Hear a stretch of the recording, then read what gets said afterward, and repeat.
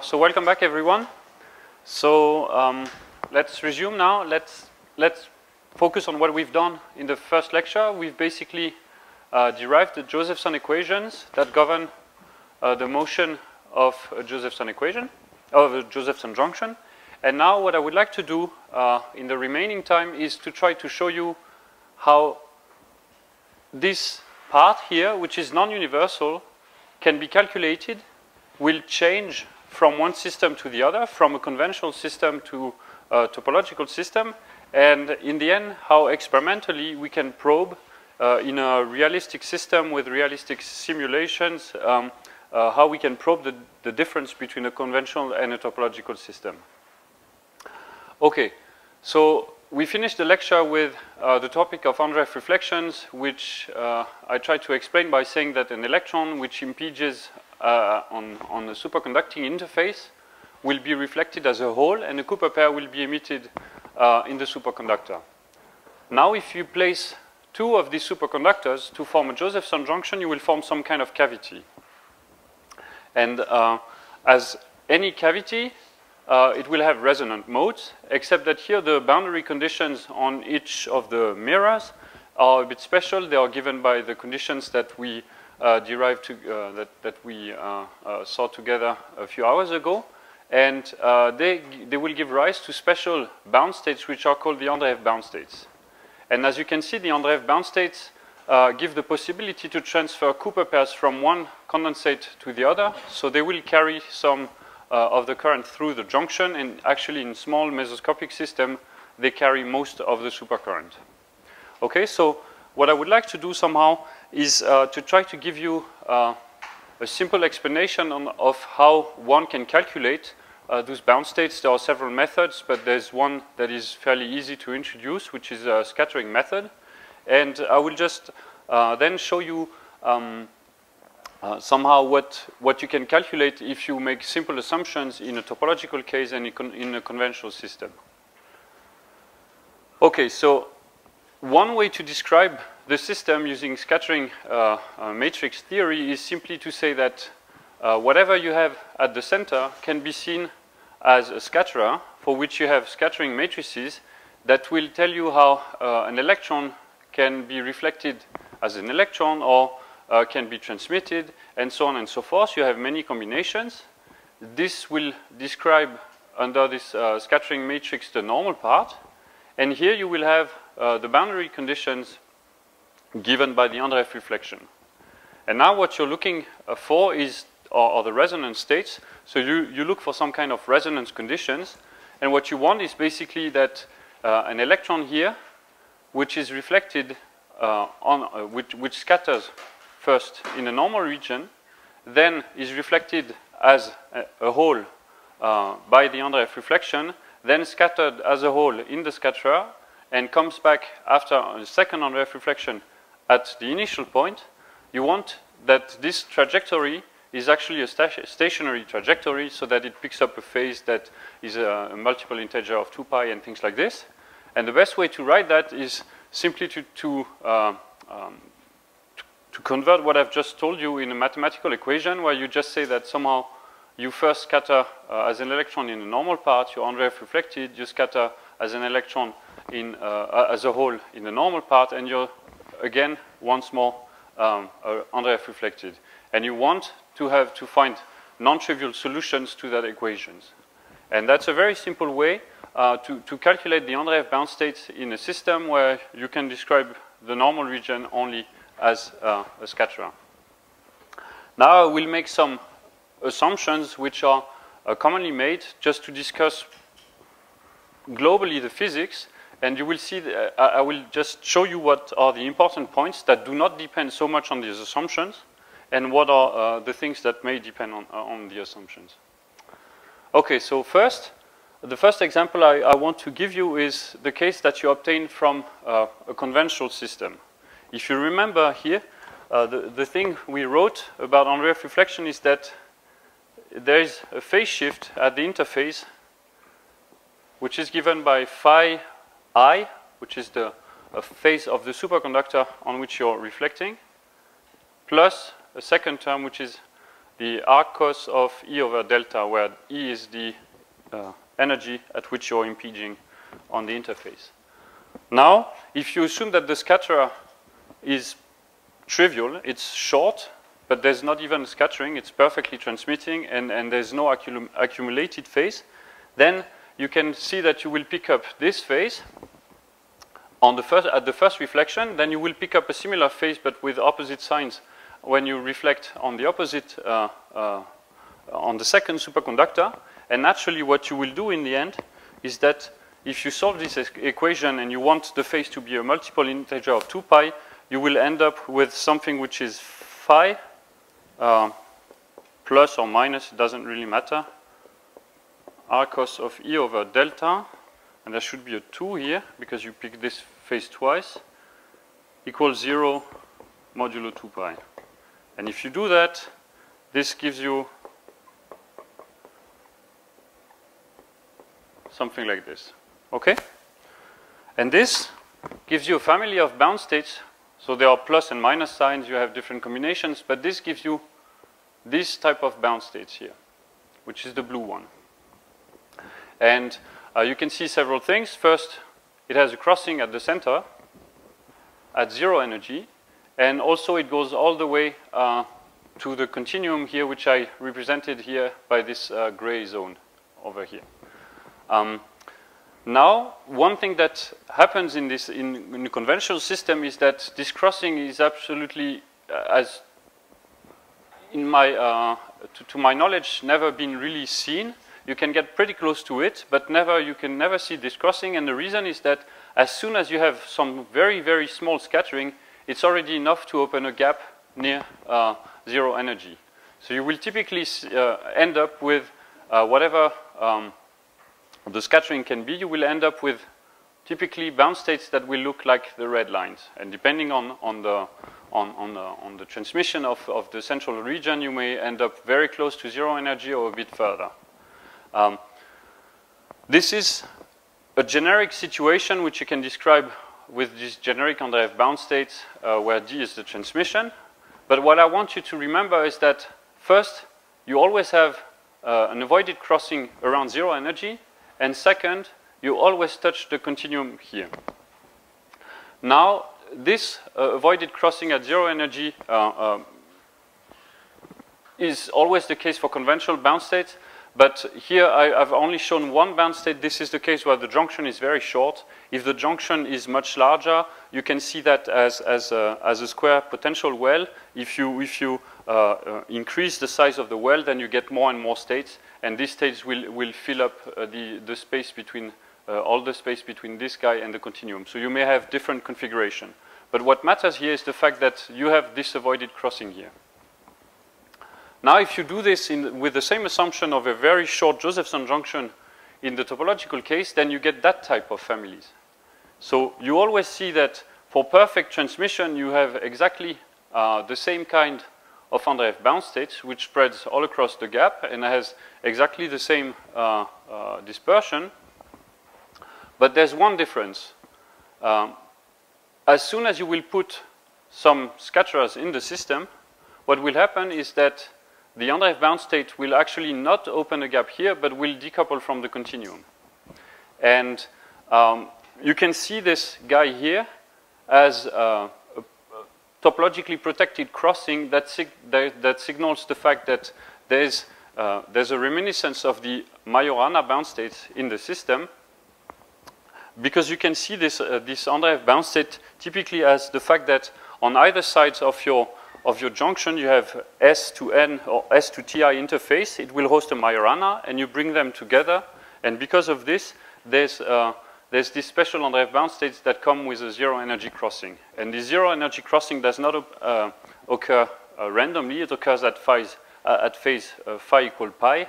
And this phase phi equal pi corresponds to the fact that you have destructive, destructive interference in the system and the Majoranas don't see each other anymore. So they are somehow uh, um, decoupled, they don't see each other anymore, so they go back to their initial energy, which is zero energy. One thing I forgot to mention is that in the previous case, since you've made no assumption on the spin, all those levels are spin degenerate. In that case here, you have uh, no spin degeneracy, uh, but for what I'm going to say later on, I'm, I'm, I do not think it, it matters that much. Okay? So if I have to summarize this in two words, uh, there's always an avoided, crossing, an avoided crossing in the conventional case, and there should be a protected crossing uh, um, in the topological case. And what does it change?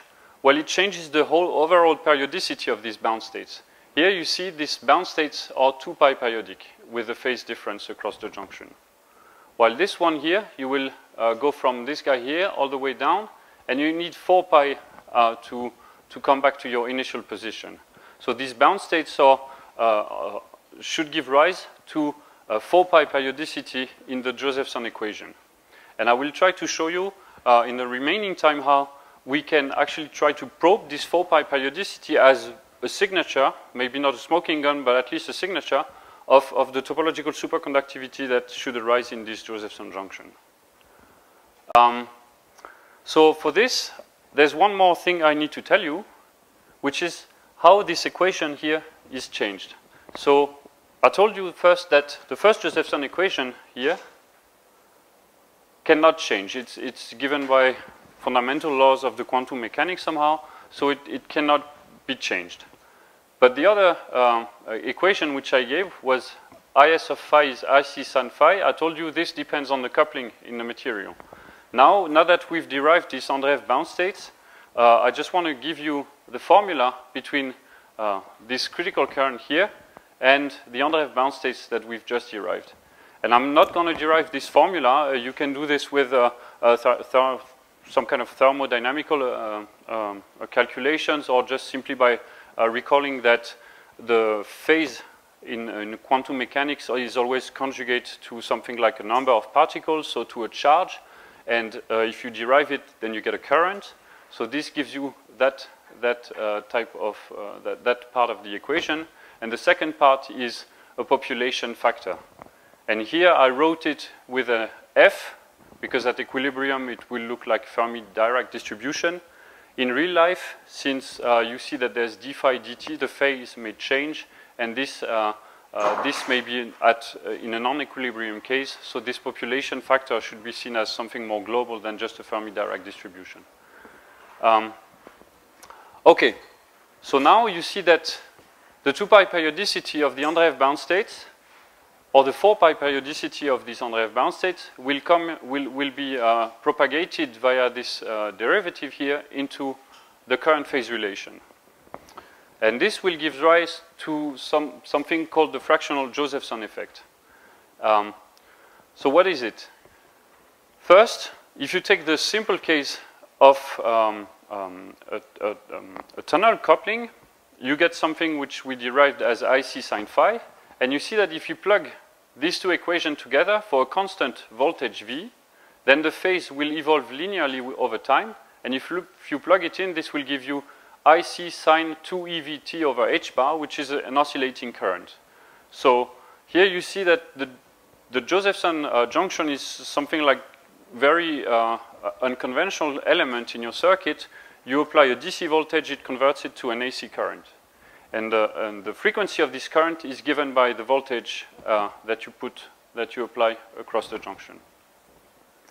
Now the funny thing is that if you now have a 4 pi periodicity in the system, this will give you something which is not sine phi, but something which should have uh, an harmonic looking like sine phi over 2. And this will turn the Josephson frequency naturally from fj to fj over 2. And this is what people have been uh, uh, looking at and, and, trying to find for, for years. And this is what people call the fractional Josephson effect. And um, now what I would like to do is to show you how uh, we've tried to do this, uh, try to detect this contribution in, in our system, and we can do this in two ways. First, if you apply DC excitation, I told you that the DC voltage will be converted into an oscillating current. You have a Josephson junction. It emits uh, the, the, the, typical frequency of this oscillating current, if you compute the numbers, will be in the gigahertz range. So you have something like, like a small component in which an oscillating current circulates. It will irradiate into free space as if you would have an antenna.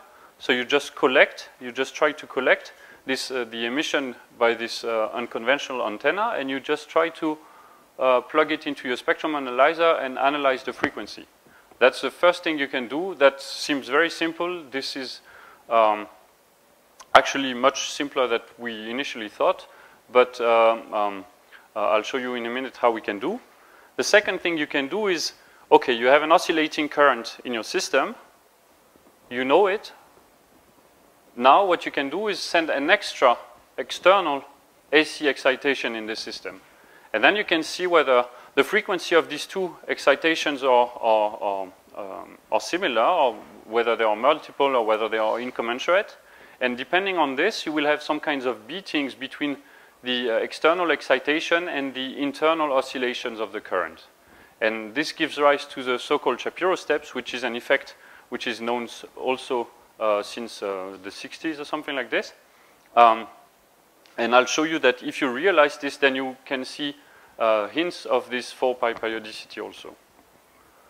Okay, so um, just a few, um, th there are a few tricks in that. This would, this would uh, be a sketch of something like our Andreev bound state spectrum, where we look for something which has crossing at, at zero energy. But the thing is that your system is never perfect.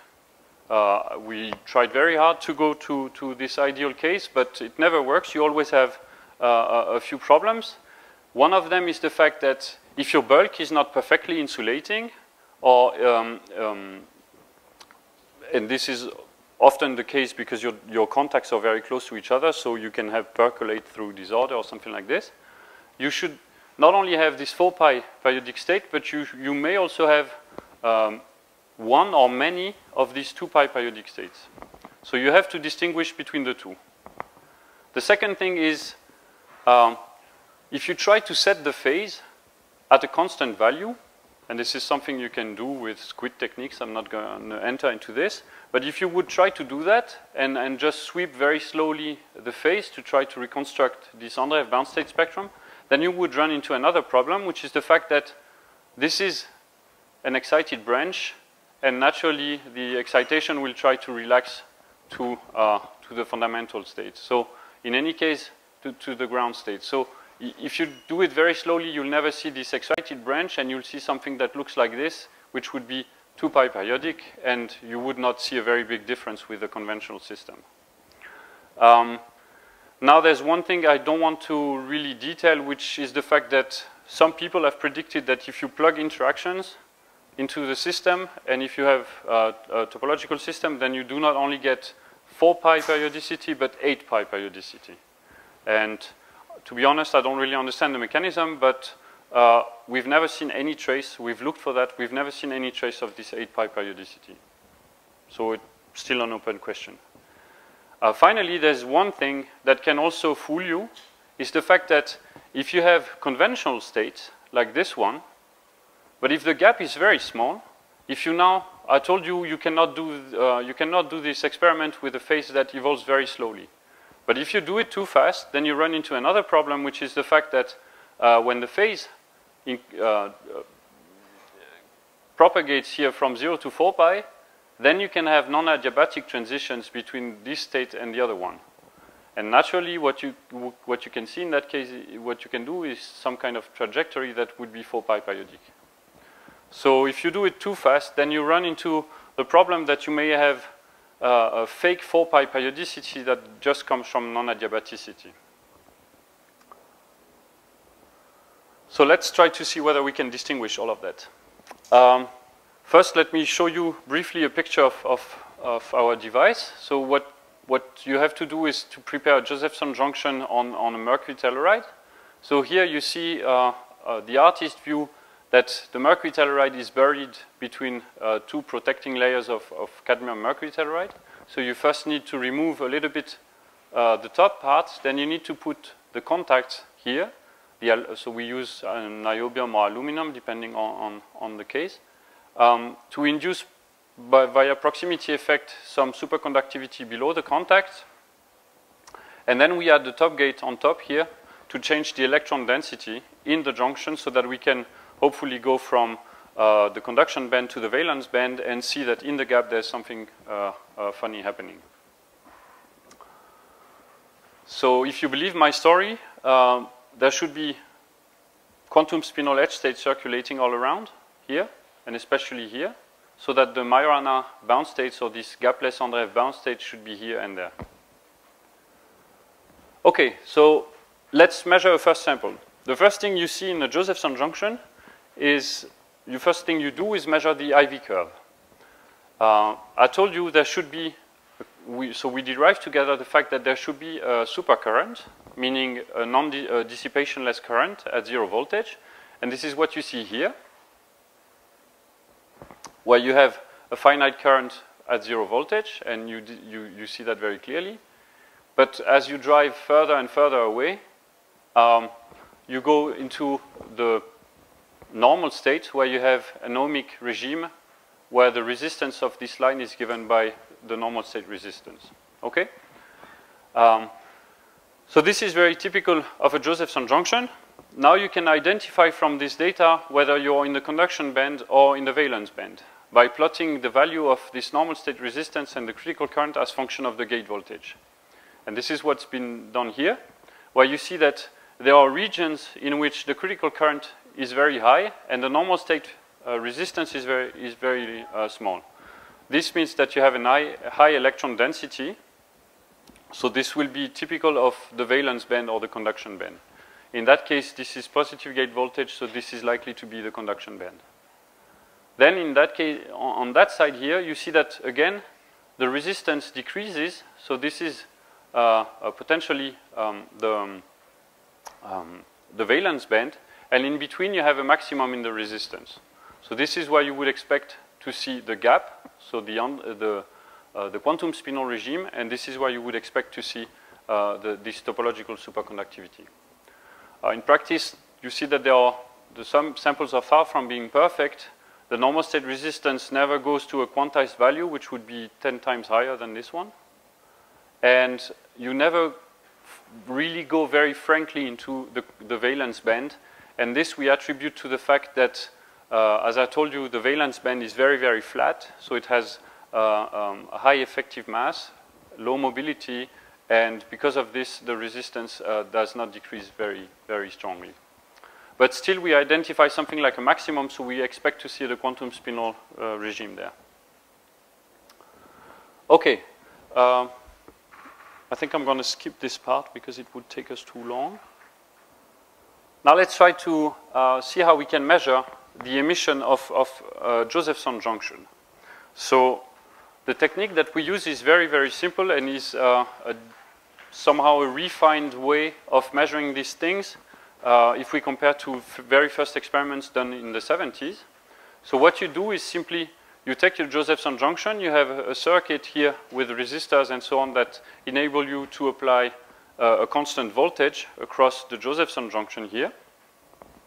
And what you do is that you use this uh, element here, which is a bias T. The bias T has a capacitor. The capacitor lets the RF signal go through, but uh, the DC signal is blocked, and the DC signal, in that case, goes to a voltage measurement.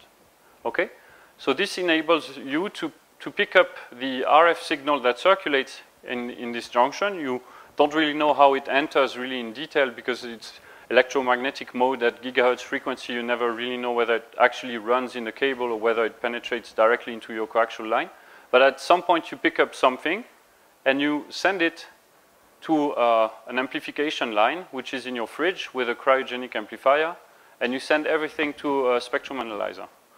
So you see that this is super simple as a setup. Uh, the only thing you do is amplify and, and put it in your spectrum analyzer. And now what you can do is first apply different uh, voltages and see whether at some point for, for your detection window, for a, detec a, given detection frequency, you will detect emission. And then afterwards, you can change the detection frequency. So this is what we've done, and this is what it looks like. So first, we, we took a narrow quantum well, one that is not topological. And if you do that, uh, beware, I've, I've reversed the axis. This is now the voltage, and this is now the current. Here you see in red the IV uh, trace, where here you have the supercurrent, which is now vertical, and the voltage is on this axis. And now as I sweep the voltage, I see on the blue line, which is the RF amplitude, I see that for the, the detection frequency that I've chosen, I have one peak only for one positive voltage and one peak for the symmetric negative voltage. And this signals the Josephson emission. And if you compute from the numbers, you know exactly the voltage because you measure it, you know exactly at which frequency you're detecting it. You can see that in a trivial quantum well, the emission occurs at the Josephson, conventional Josephson frequency. Now if you do this with a um, topological quantum well, so slightly thicker quantum wells, which, is a, which should have an inverted gap, then you see that the emission features are, are quite different. Um, here you see that you have two peaks, but if you compute the numbers, they occur for uh, a voltage that corresponds to half of the Josephson frequency. So this is exactly what, what you would expect. Um, now, if, if you tune the gate voltage, you can also go into regimes where you have both emission at half the Josephson frequency and the Josephson frequency. So we need a little bit more analysis to actually um, uh, understand all of this, and I'm not sure we, we do understand all of this, but uh, this is a pretty uh, clear feature that there's a 4 pi periodic current running in the system. This is very direct measurement. Um, now the, the question you want to answer is whether it can be topological or not. Uh, a sanity check is then to change the detection frequency and actually check that indeed what you think is your Josephson frequency is indeed linear with the voltage.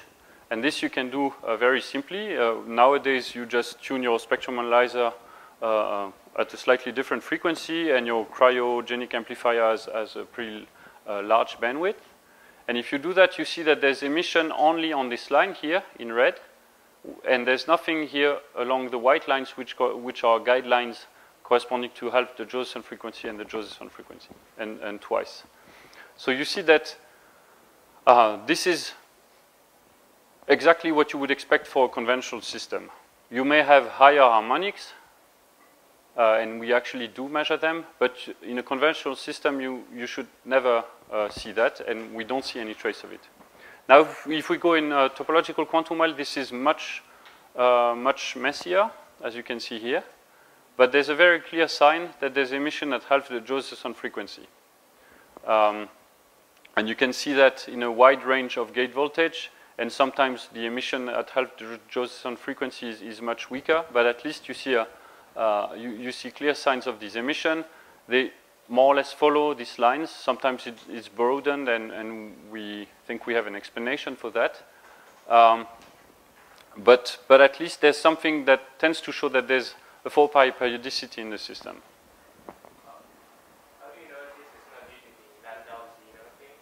Um, I'll try to come back to that if I have enough time. Um, so now you can pick up a frequency and tune the gate voltage and see whether this 4 pi periodicity is actually stronger in the quantum spin Hall regime or not. And this is what is done here. So if I show you this, this is uh, probably not very easy to understand. This is, again, the gate voltage, uh, the DC voltage and these are the emission lines, and this is the gate voltage. And if I help you a little bit, you see that uh, there's a regime in which for almost all frequencies, you see very clear emission at half the Josephson frequency and nothing elsewhere. So this would be something that you would attribute to a perfect quantum spin Hall system.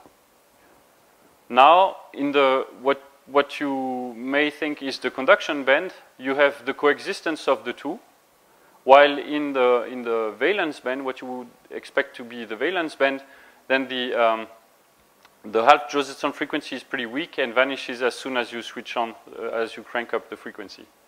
So this seems to be pretty consistent with what you would expect for something which goes from uh, valence band to conduction band via something which would be the quantum spin Hall regime.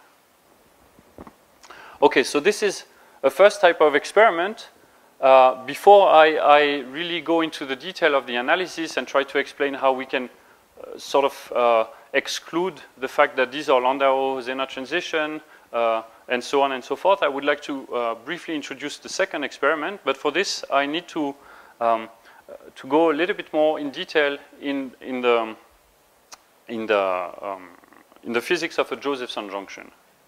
So,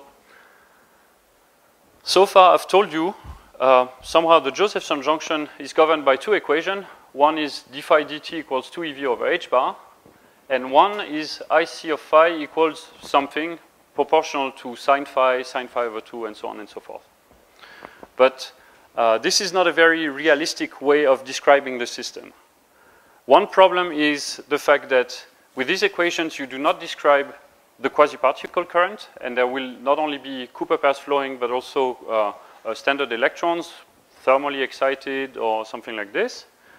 Um, they, they, can, they do not describe uh, capacitive couplings between the two electrodes.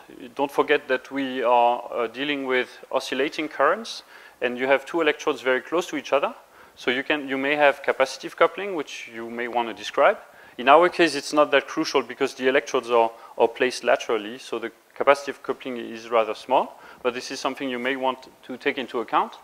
But more importantly, all those equations uh, are well suited to describe something where the voltage is a constant. So this is the thing that your, the operator controls in that case. You apply a constant voltage. And experimentally, this is rather hard for several uh, reasons. And the most important one is the fact that the junction, as you, as you see from the IV trace, has a very, uh, is not a linear component like, like a ohmic resistor. It has a changing differential resistance.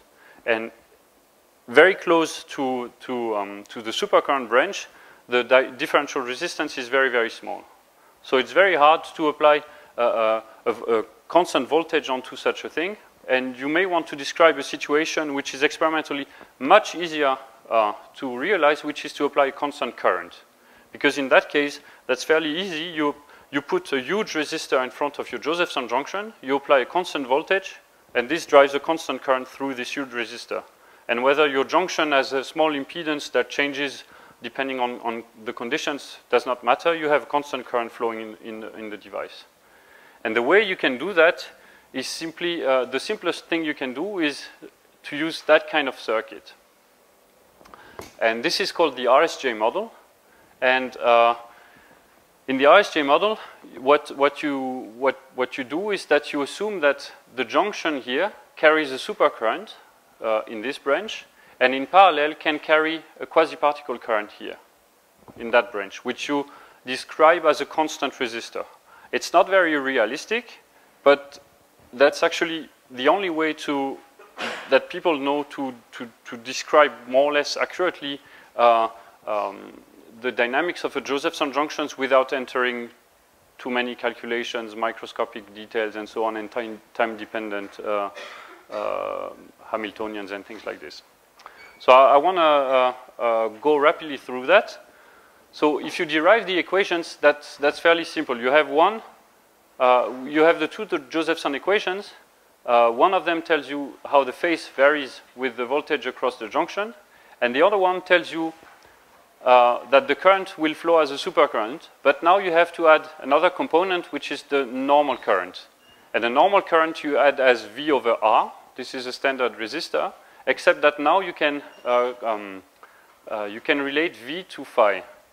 And if you do so, then you see that you have this equation here, which is a differential equation on, on phi given the fact that you apply a constant current. Okay? Uh, and now again, all of the information you're looking for is encoded into IC of phi, uh, IS of phi. Um, now if you look carefully at this equation, what does it look like? It's a first order differential equation on phi. So you may uh, consider it to be uh, analogous to the motion of a particle here in uh, a potential well, which looks like the one that is represented here and is called the tilted washboard potential. And the uh, components of uh, um, this uh, potential U are given by this equation here, where you see that the drive you apply gives the tilt of this potential, and uh, the current phase relation, IS of phi, will give these wiggles on the potential. And you may say, uh, I disagree. Uh, uh from Newton's law, you know that uh, there should be a, a, second order derivative. The second order derivative would come from the capacitance here, but we've ignored it, which means that we are in a case where there's a huge friction. So the particle here moves into this potential well with huge, huge friction. Okay? Now, how do you understand uh, uh, from this the IV curve? Let, us let's, let's, let's move to uh, first to the IV curve. Uh, the, the first thing you can do is solve this equation. So you can solve it analytically in the case when there's no uh, AC drive, and you get to that formula. And you see here now that the way I describe um, uh, the Josephson junction has changed. Before I was applying an uh, um, a DC voltage and I was getting an oscillating current. Here I apply a constant DC current and I get an oscillating voltage and what I measure is the average of this oscillating voltage, which, which I write here, okay? Now, once you have the average, you compute this curve, which is, uh, if, you, if you double it here, looks pretty much like what we've seen before. It misses all of the microscopic information, but for the physics itself, it's, it's, it's not so relevant. So you have something that describes somehow your supercurrent branch, and here you go back to a normal regime. Okay? Now, if you do, on, if you only look at that, you miss some of the information which is encoded in the dynamics. So let's have a look at how, uh, how it moves.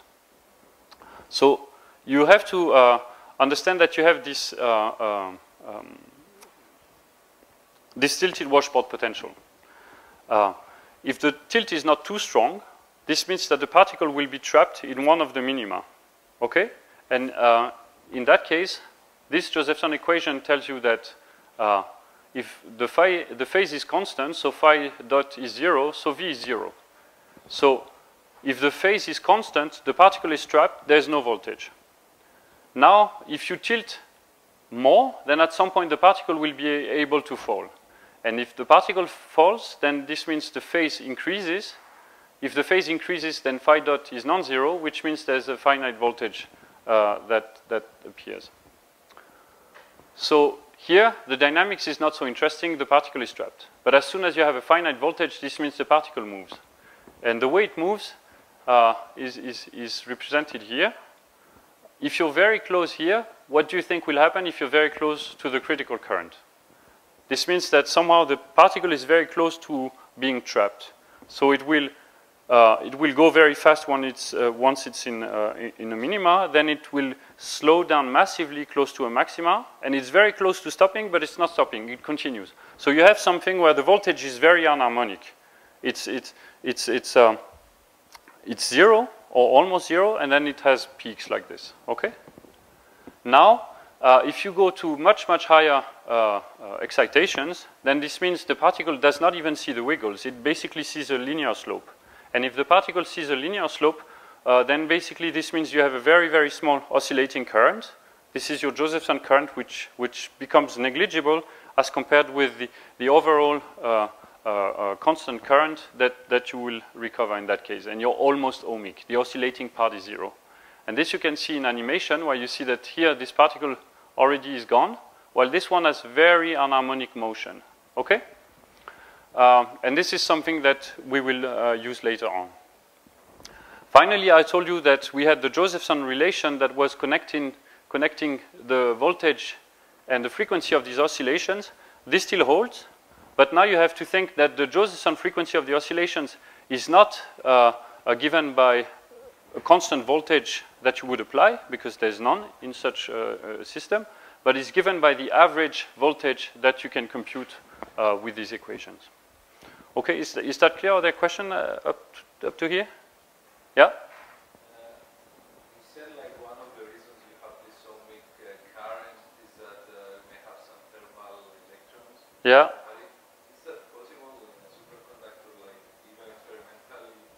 Well, if the gap is not is is not very strong, then you may have thermal carriers that are excited above above the gap in the continuum. Um, yeah, let, us let's do it this way.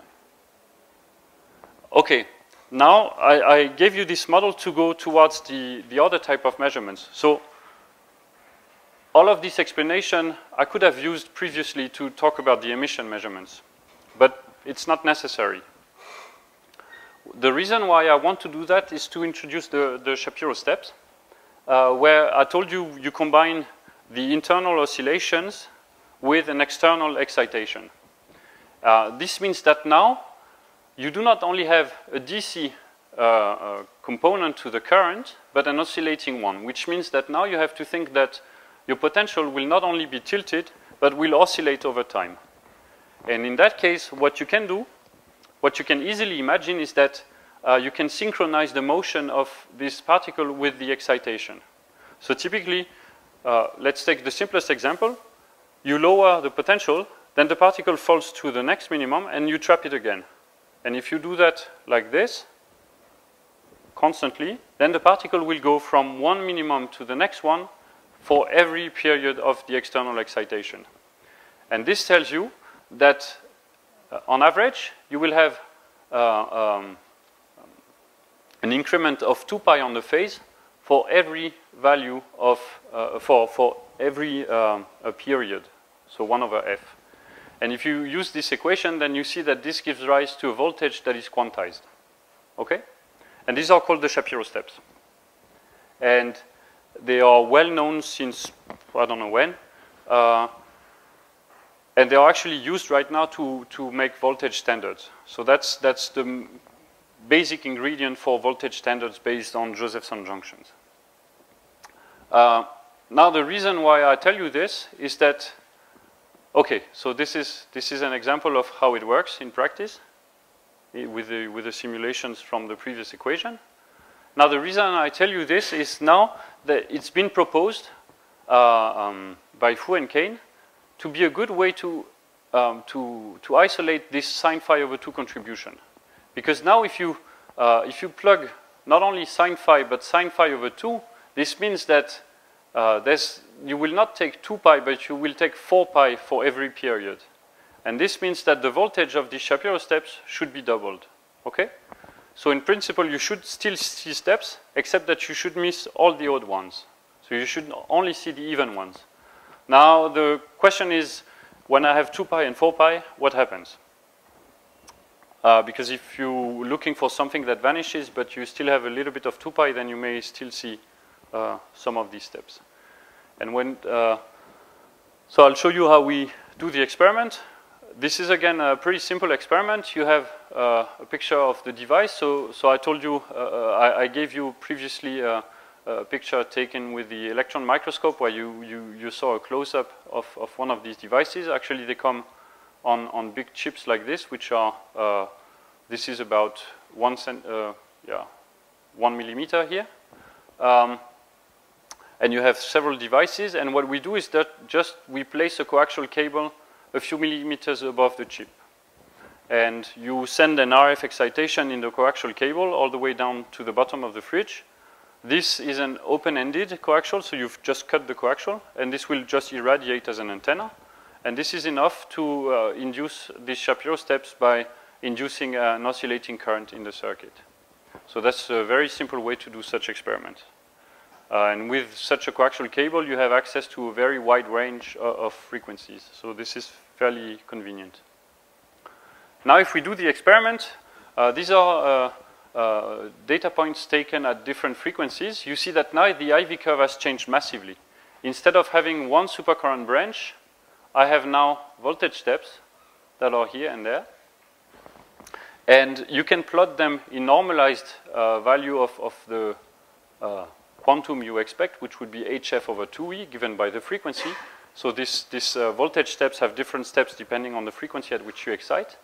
But if you normalize them, you see that all of them fall perfectly on, on these lines here, which uh, are integer multiples of hf over 2e.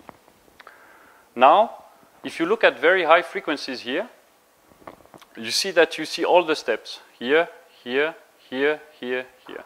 You even see half integer steps, which I will not comment, which is something that is uh, seen in many systems and comes from nonlinearities. Uh, but, but it's not so interesting here because you see all the steps, which is exactly the conventional Josephson effect. But what, what is interesting is as you lower this excitation frequency, then you start to see that steps start to vanish. Here you have the first step that is gone, the third step is gone also, but the, the fifth is still there. And if you lower the frequency even more, then you see that first, third, fifth, seventh, and even ninth are, are gone. So now you, you, you, you recover this even uh, sequence of Shapiro steps. And you can uh, plot this in a more explicit way if you now plot the histogram of the voltage values. So you count how many data points you have in a given voltage window. And you get uh, such plots.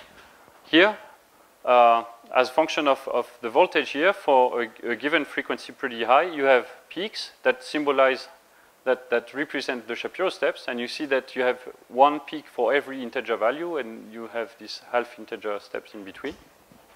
But as you lower the frequency, you see that more and more of the even step tend to be missing. So at some point, you see that the steps are not very well resolved.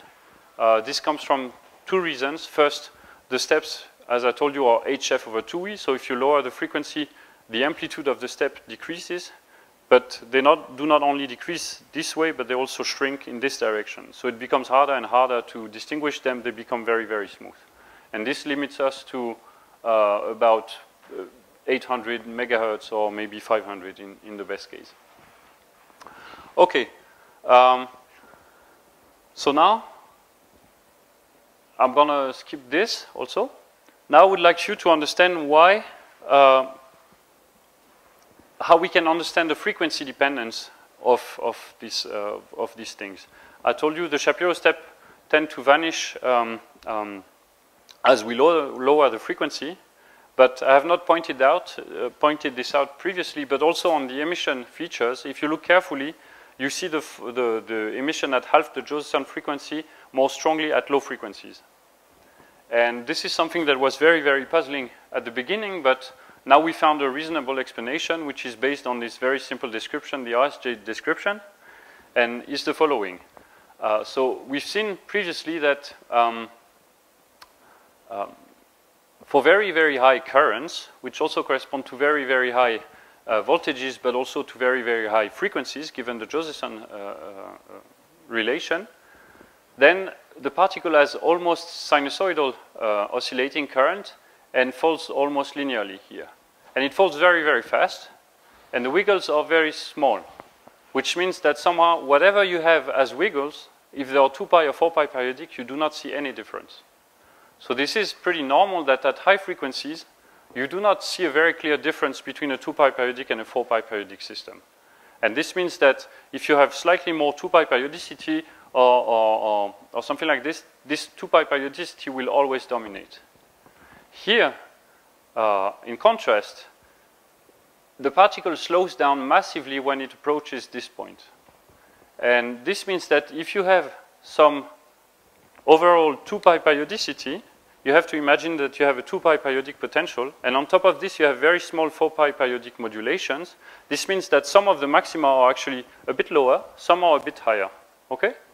And now because you slow down massively, very close to the maxima, you will be much more sensitive to the fact that you've lowered a little bit the maximum of you, or you've uh, increased it a little bit.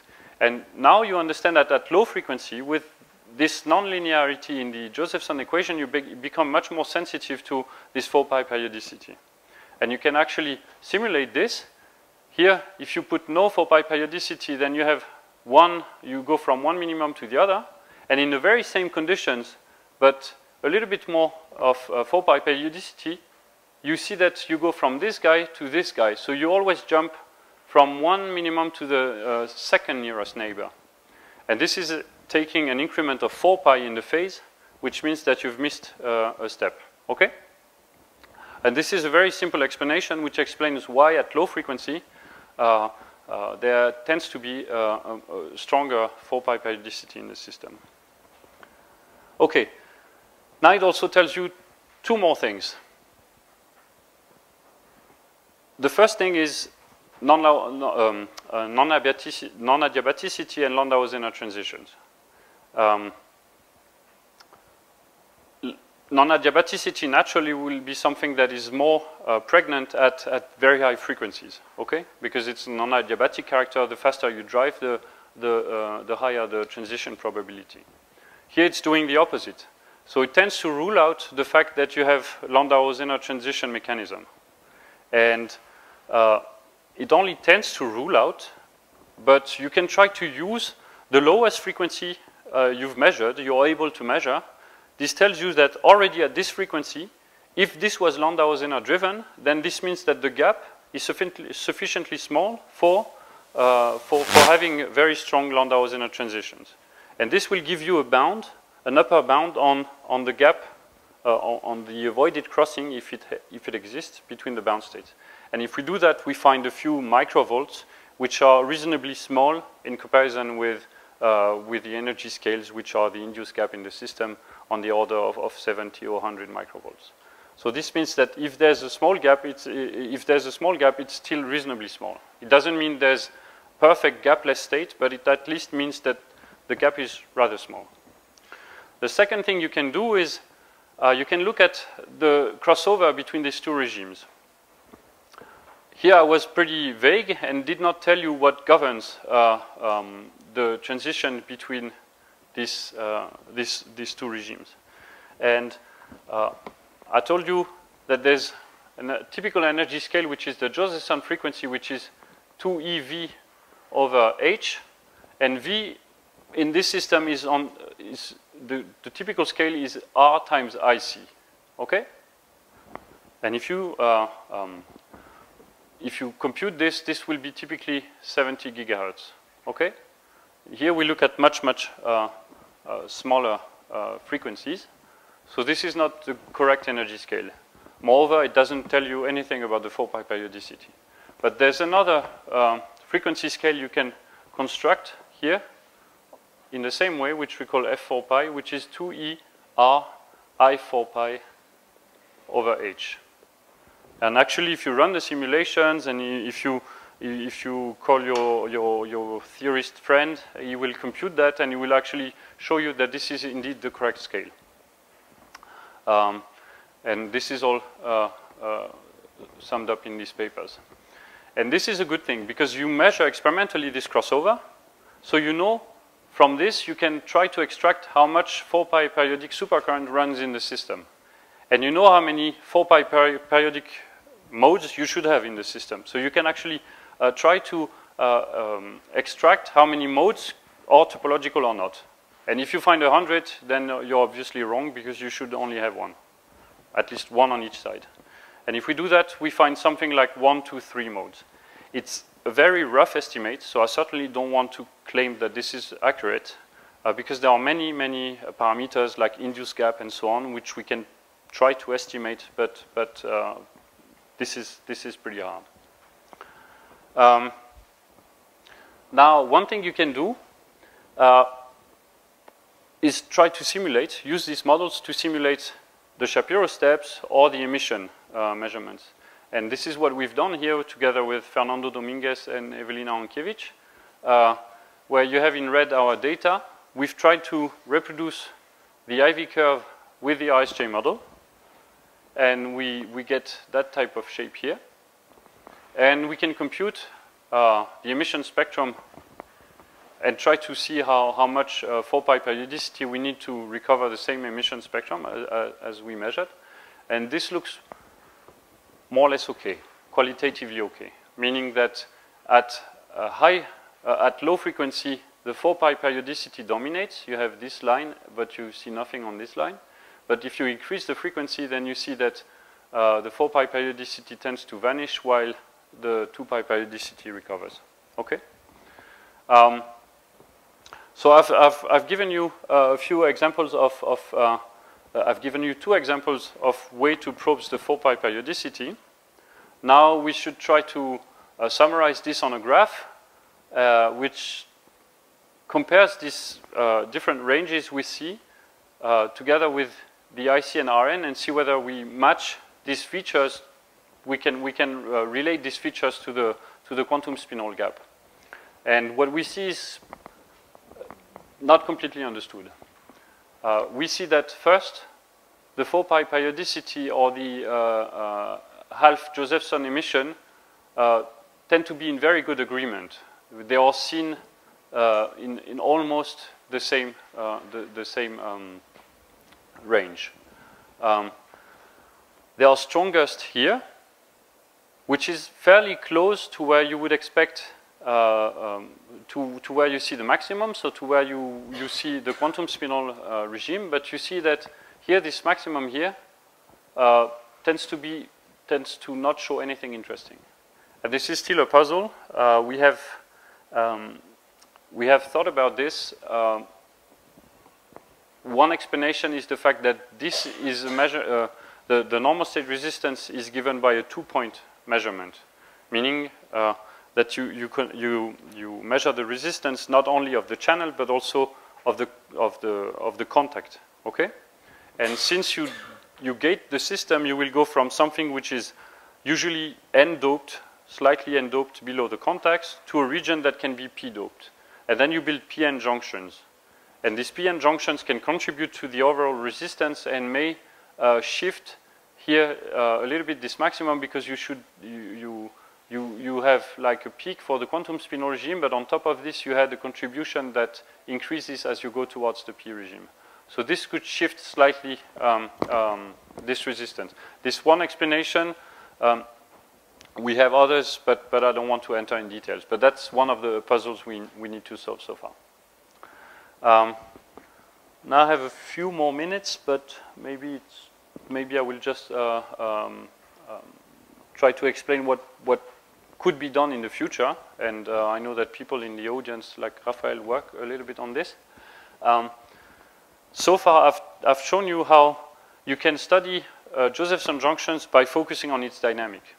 And you measure um, uh, consequences of the Josephson equation, so consequences of this 4 pi periodicity, directly by looking at how the Josephson current flows. But what you would like to do in an ideal world is not only measure the consequences, but directly probe these Andreev bound states. And uh, uh, there are ways to do that, which are technically challenging, which is why uh, uh we have a hard time trying to do that. Um, but this has been done in, in Saclay in the past, and they, there are two ways to probe um, to, to, probe directly the to, to, to, realize the spectroscopy directly of the Andreev bound state. And one of, the, of them is fairly easy in principle. It's just uh, uh, you do um, absorption spectroscopy. So you send photons at a, uh, at a given frequency and you look whether uh, for a given phase you have absorption or not. And if the photon is absorbed, then this means you've excited this transition. And this would be very nice to evidence, uh, to, to, to, to get directly the dispersion of these Andreev bound states and show that maybe one of them is gapless. But there are a few tricks. One of them is, I told you there's no spin degeneracy, so the two Andreev bound states have different parity, and the photon does not change parity. So this transition is forbidden in a topological system. It's not in a conventional system where you have the spin degeneracy, but it is in, in, uh, in this system. So this means that you need to find other transition like from this guy to the continuum and so on. But this is one direction. Um, other directions are to now probe SN junctions. So here we've done SNS or STIS junctions, so Josephson junctions. Now we want to go slowly towards uh, SN junctions and, and do similar uh, things as, as uh, similar to what Delft has done, where they studied SN junctions on nanowires. Um, so this is one thing we want to do. Yeah, I'm concluding. Um, and other, other, other directions also include trying to look at the superconductivity in other mercury telluride systems. I, I, spent half an hour this morning trying to show you uh, what type of different phases you can realize in mercury telluride. Um, and this would be very interesting to, to combine superconductors with such phases. So we've studied today quantum spin Hall effect, but uh, there's a possibility to realize quantum Hall, quantum anomalous Hall, or Weyl physics, but also nanowires. You see here a sketch of one nanowire which is connected with uh, superconducting electrodes, and you see that there's a small supercurrent uh, occurring. So there's plenty of things to be done. Uh, if you don't know what to do in the next five years, there are open positions, so feel free to contact me if you want to go there at some point. And with this, I thank you for your attention.